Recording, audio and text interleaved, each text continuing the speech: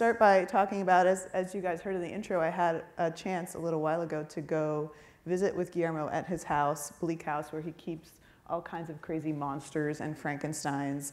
And you have not seen that. You have not experienced. No. I've, I've never been. Um, I really want to go. It sound, I mean, he talks about it like it's um, his own private Disneyland. It's you know, um, it's it sounds extraordinary, and um, I, I, get a sense of what it's like just from working with him for four or five months and and uh, seeing his extraordinary passion for for all of his great loves for you know, he's, someone who finds beauty in the shadows, you know, um, and he loves gothic material. He, he's such a collector of, um, of uh, all that stuff. So, yeah, one day I hope an invitation will be in the mail. What's fascinating about him is that he surrounds himself with all this creepy stuff.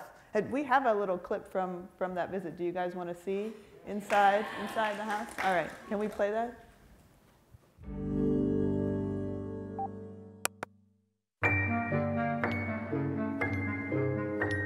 Is Frankenstein your favorite monster? Frankenstein's creature is, uh, to me, the most moving and beautiful monster, and it's an amazing piece of design.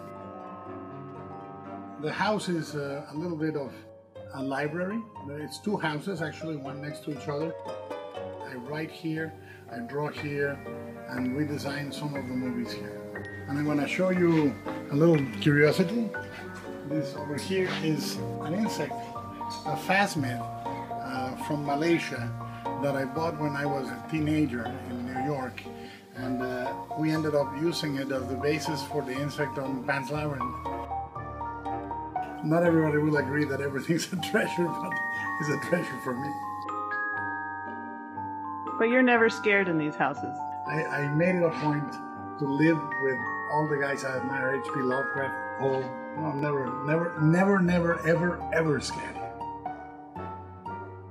So what I found fascinating is he is surrounded by all these creepy crawlies and monsters, and yet he himself is this delightful and very sweet man. And it seems unfathomable that he would come out, that all that kind of stuff would come out of his imagination. Was that your experience in working with yeah, him? Yeah, it's amazing when you meet him. He's su- he is such a warm, generous, um, good-natured, uh, sweet, sensitive man. You know, he, and um, being around on set with him is a very, he's a very light, it's a very light um, and light-hearted set to be on.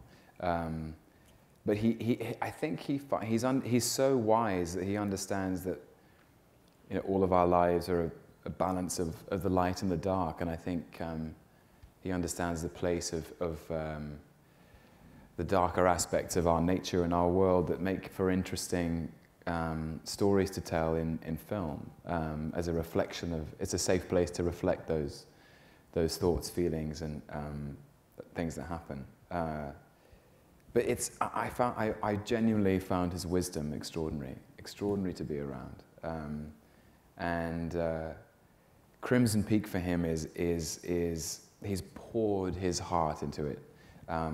It's, a, it's a love song to everything he admires to the genre of Gothic romance in literature and in cinema, um, to Hammer horror, to um, Gothic fiction like the Bronte sisters and um, The Mysteries of Udolpho by Ann Radcliffe and Horace Walpole and all of the stuff that he, he dearly loves. Um, but that stuff was not necessarily familiar to you, right? You were not, you didn't come up as a Gothic romance fan, right? Not particularly. Um, it's, I mean, I was always familiar with the archetypes. I think it's impossible to grow up in England and not be. You know, sort of, uh, um, understanding, uh, understanding that the trajectory of Gothic romance is that there is always a young, pure-hearted, innocent heroine who is drawn towards a, um, a dark stranger with a mysterious past. And, and, and, and it's a, she falls in love perhaps, or she's drawn by her sexuality towards him. And then and he always has a crumbling mansion on the hill. And uh, you'd think they'd know better, but.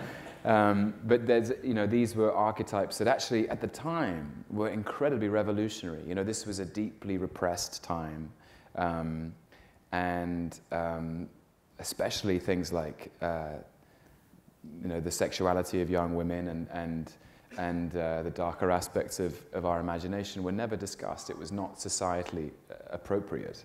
And so Gothic romance was a genre that, that actually was predominantly came from women um, and was a way of exploring those themes, the, the, the, the, how love is a force of change and is chaotic and often dangerous, and that it can impel you into situations which are terrifying. So you said you, when you approach a role, you really dive in and do a, lo- a lot of research.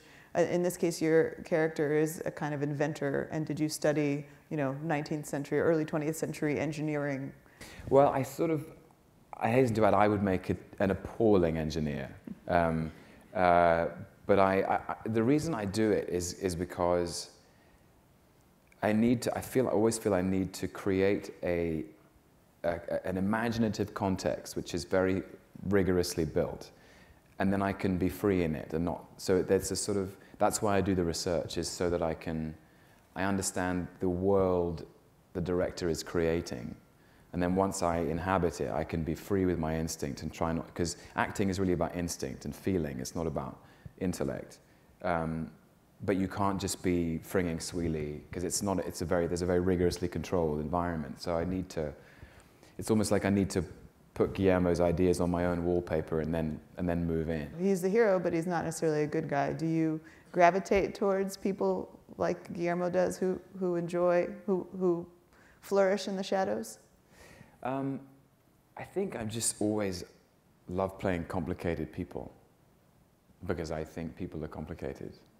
Um, and I, there's part of the kind of, um, I enjoy the sort of amateur psychological investigation, if you like. I, I like trying to find the common humanity in characters which are dangerous or unsettling.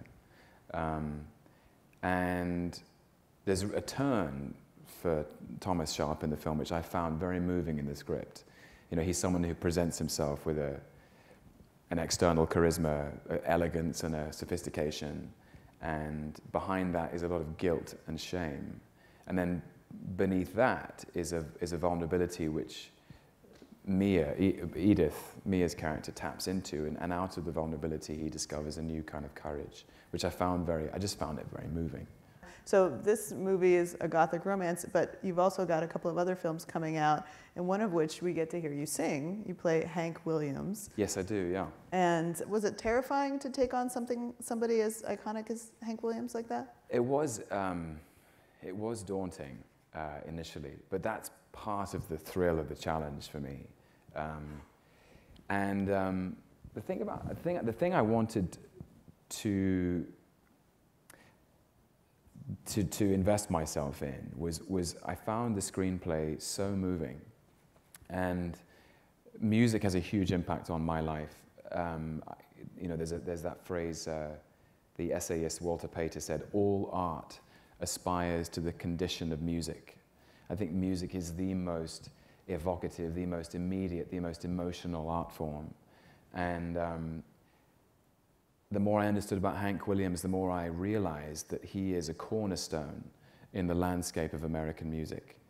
Without Hank, we simply, music as we know it doesn't look the same. He inspired Bob Dylan and Keith Richards and Johnny Cash and Bruce Springsteen. You ask all of those guys, you know, who's up there in the, in the, in the pantheon um, as their inspirations, and they talk about Hank.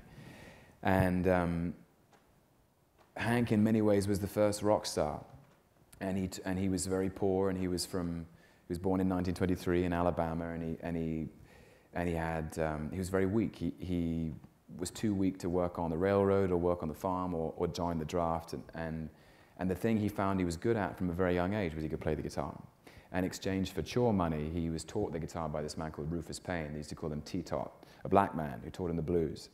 And, um, and so really Hank Williams is, is someone who's like who's channeling this extraordinary blues tradition um, and infusing it with his own style and creating country music, or, or, or, not creating it, but, but taking it on a step from Ernest Tubb and, and Roy Acuff, who were the big stars at the time. Did you do you feel like you have a, a, responsibility as a performer when you're capturing, especially certainly when you're playing real life people, but even these moments in history which you're clearly really read up on? Do you feel like you have a responsibility as a performer to tell a certain truth about that? The responsibility is huge. Um, simply because I felt a responsibility to his legacy, to, to, uh, to his family, um, and to all the people to whom Hank means so much. I mean, I got to Nashville.